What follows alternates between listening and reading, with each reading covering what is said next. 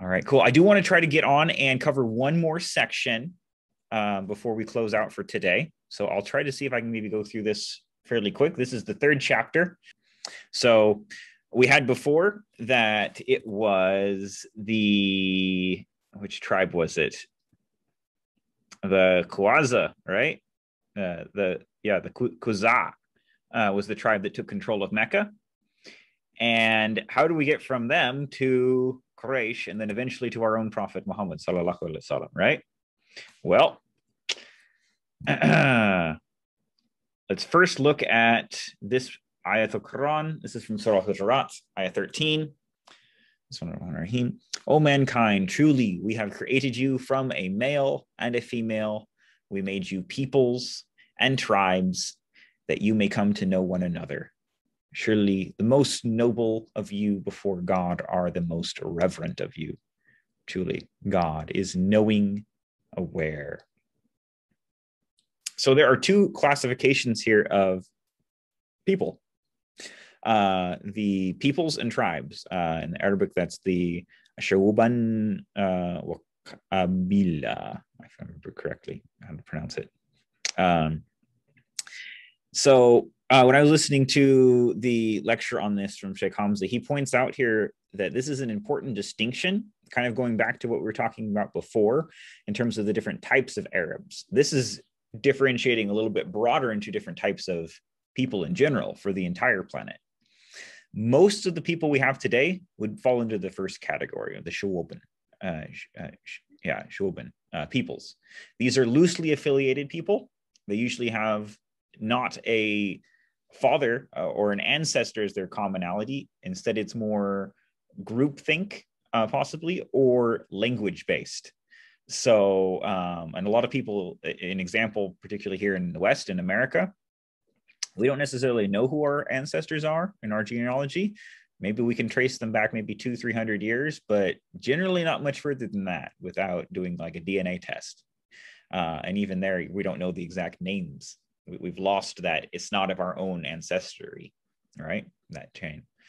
Um, and that that largely comes surprise surprise through not following the divine laws of god the sharia. Uh, and uh, so this is a common thing that will become more widespread as times come towards uh, the end. And the other types of peoples are the tribes the kabila uh, and this is like a huge family unit. And this is what the Arabian Peninsula was like. We still have some elements of this today in some of the Bedouin. Uh, most uh, Arabs who are city dwellers will probably have lost and turned more into peoples, sadly, as opposed to uh, Kabila, but we still do have some remnants of these uh, in in the deserts, uh, throughout northern Africa, and then some other cultures around the world as well who are more remote uh, may still actually operate under more of a tribal base as opposed to uh, the, the people based uh, types of affiliations and groups of people. So, this is an important thing to note because what we're talking about here is tribes. And this is the kind of more recommended way. And what we'll notice is that when the Quran comes and when Revelation comes, Allah is correcting all of this. So we will find that eventually, what Allah's revelation is, and, and we, we all know this now, is that the nations and peoples are best. What is what does the, the ayah here say at the end? Surely the most noble before God are the reverent. So it's our piety, our taqwa, that actually is what matters. And so all of us who are Muslim, we are all brothers and sisters in a broader tribe of the deen of Islam.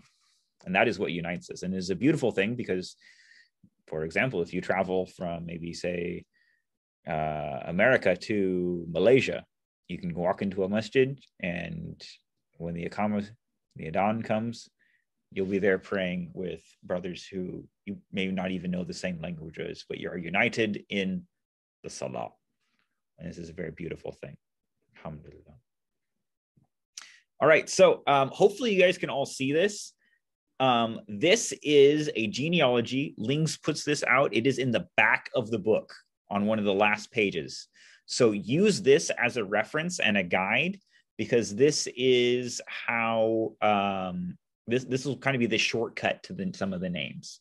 Uh, Lings has highlighted the most important ones here for us, and I think referencing back to it is going to be extremely beneficial for our understanding of the genealogy and who these peoples are, because this is one huge big tribe. I mean, we're looking at the um, uh, at first, and then the Quraysh are ones who marry into it, basically. So you go up here all the way to the top. You have the first person of Quraysh. He's actually Quraysh was his nickname, um, and we don't know necessarily what that means. Um, it it it it technically, if I remember correctly, means like to bite. And so it, it, it, might be that maybe he bit something when he was a kid and he got named Quraysh uh, as a diminutive, uh, as, a, as a joke, and it just stuck with him. Um, I think if I remember, Sheikh Hamza says that uh, it also could be related to shark, possibly. So perhaps he was in his uh, temperament uh, likened to a shark. Um, Allahu alam. We don't know uh, how he got the name. His his his actual name was uh, um, and Quraysh was just a nickname. And that's where the tribe of Quraysh comes from. Um, is the one that is of importance to us because Qusay marries into the Koza'a.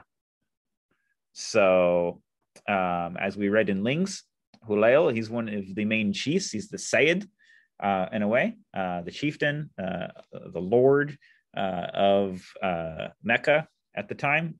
He's the head chief of the Koza'a. And Qusay marries Hulail's daughter. So Qusay there, if you look in the chart, he's in the dead center. He's the one who marries into the rights and stuff of Mecca. And Hulail, um, he, he likes Qusay, his, his son-in-law, better than his own sons. And so when he dies, he passes on the rights of caring for the pilgrims to Qusay. And so the Quraysh and the tribe of Quraysh are the ones that take control of it. And if you look back, just just point out a few things. Um, so Qusay is the what would it be? The great great grandson of Quraysh, uh, Fikhr known as Quraysh, and Al Harith is one of the sons, and Al Harith has the clan of uh, Ubaidah that comes from him. Um, the other son has the clan of Kab and uh, Amr. Um, that's the clan of the Suhail. We have Suhailis that still exist today uh, in the Arabian Peninsula. Uh, in Saudi and in Yemen, and I think in Oman as well. There are Suhailis. Uh, that's that's a Qurayshi, an ancient Qurayshi tribe. So they are related distantly to the Prophet. Um, so of Kab, we have the uh, Husays, uh, which comes uh, Amr, that's the clan of the Amr, uh, uh, Amr, ibn uh, uh, al-As. He's from that clan. And then there's also the the Juma clan, the, which is uh, Uthman uh, and Uthman bin Mazum comes from this clan. These are companions of the Prophet later. So just just highlights here to note. Um, Kab also has Adi as a son, and that's the clan of Omar later. So this is another relative of the prophet. It, the beauty here is to note how all of these alliances form and that they're all in a way distant cousins and distant relatives. They're they're related and they're coming together because of the tribal bonds that are u- unique to this type of society. Alhamdulillah. So Murrah has some more sons. He has Kalib, Taim, and uh, Yak, uh, Yakazid. Yakaza. Yakaza here is the important one because he has the Makhzum. This becomes the most powerful tribe.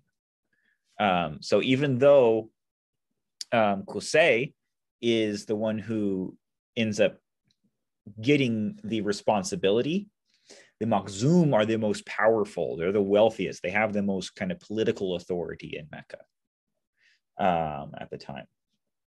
So um, that's important to notice. And their uh, descendants of that You may be familiar with um, Khalid bin al Walid, the, the famous uh, companion who was a champion of the battlefield.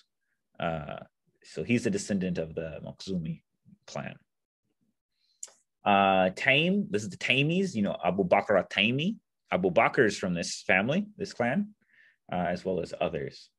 And so Kalab's the father of Qusay. Qusay is the one who marries in the to the uh, Kuza'a uh, and gets the rights. His brother uh, Zuhra is the descendant that eventually comes down to the prophet's mother Amina. Um, so when we have others, the prophet's cousins, Saad, uh, Rahman, Auf, uh, and, and others. So Qusay, Qusay has kids, of course, and this is important. So his first is uh, Abdadar, uh, this is the clan of Musab later. Very important. Um, this is the one who would be the heir of taking over the rights of the pilgrims at, at the Kaaba and the keys of the Kaaba and all of this. Um, however, he's not a very not very good. No one necessarily likes him. Um, Abdul Manaf is the son who is the best. Uh, then there's other sons as well, uh, Abd and uh, Abd uh, Uzza. Uh, and Abd Uzza is important because the clan of Asad comes from him. And this is the clan where Khadija, uh, Waraka, uh, Zubair, uh, and um, others uh, also come from this clan. It's very important.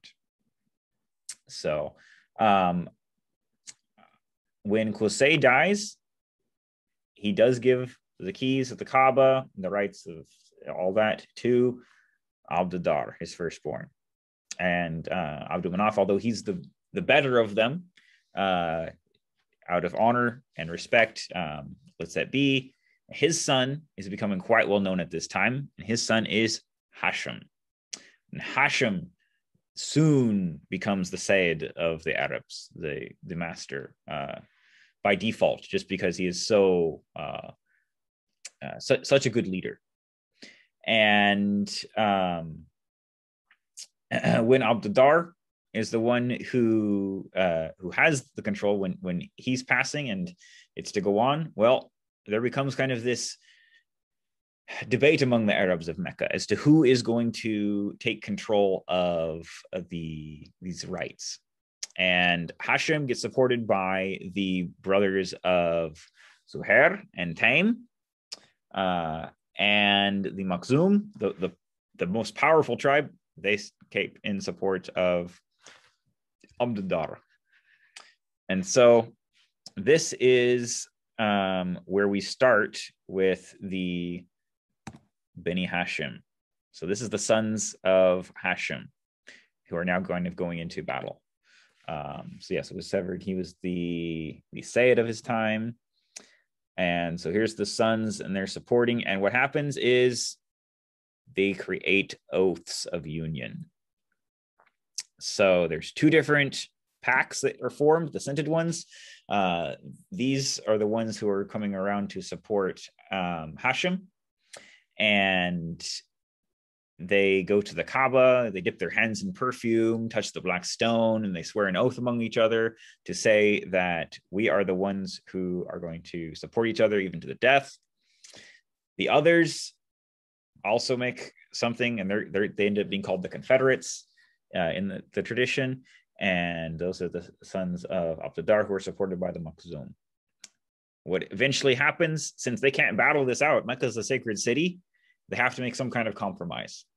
So they decide that the Confederates will retain the keys. Uh, this is the sons of Abdadar. They, they retain the keys to the Mecca, uh, sorry, keys to the Kaaba and running of the assembly. And then the sons of Hashem, uh, the Beni Hashem, will then take the responsibility of taxing the dwellers there and providing food and drink for the pilgrims. So this becomes the compromise. And what's important about this is that these kind of clan rivalries will resume and are important during the life of the prophet, and they will resume after the time of the prophet as well in Islamic kind of political history in a way. So this is important to learn these right now. And so the last thing that we want to look at is that Hashem is the one who establishes the great caravan journeys, the winter journey to um, see the winter to Yemen, and then the, the summer one is to uh, the Sham, Upper Levantine area. And so this is this is very important because you guys may remember we have a surah about this, right? Surah Quraysh. For the uh, Bismillah for the secure passage of the Quraysh, their secure passage and the journey of winter and of summer. So let them worship the Lord of this house, who relieved them of hunger and made them safe from fear. This is a very beautiful surah. And this is, in a way, um, giving tribute to the uh, rights of Kaaba uh, and of Mecca, the sacredness of the place, and those who are there, and of Bani Hashim as well, uh, who Hashim, of course, being the one who established this. And that is just, if you just go back here, we're looking at Hashim's the great grandfather of the Prophet. So this is this is not too long before the Prophet when all of these things are starting to finally fall into place. SubhanAllah. And so back to our map, we have the just just to kind of look the, the lines along this map are the trade routes uh, that were known at the time. And so you have right routes going down into Yemen, you have routes going up towards Iraq, uh, towards the Gulf, uh, and towards, um, uh, of course, uh, Palestine and Syria, Levant region, Sham. So this is important because all of them pass through what city? Mecca. So this was very important. And of course, as it had been for quite a while, these trade routes weren't necessarily something new. This is just formalizing them into a particular seasons for it, which is important. Alhamdulillah. And so lastly, and I think we'll probably end here for today. Um, the son of Hashem was with Talib Abdul Manaf, right? That's what we had from our genealogy. Yeah. Abd Abdul. Um, actually, wait. So this is, this is actually something that can be a little confusing. So Abu. All right, let me go back for those of you who didn't didn't read. So so Hashem he he's on these these travels, and one of the cities, if you look at the map here, you've got Yathrib, which later becomes Medina, on the map. Yathrib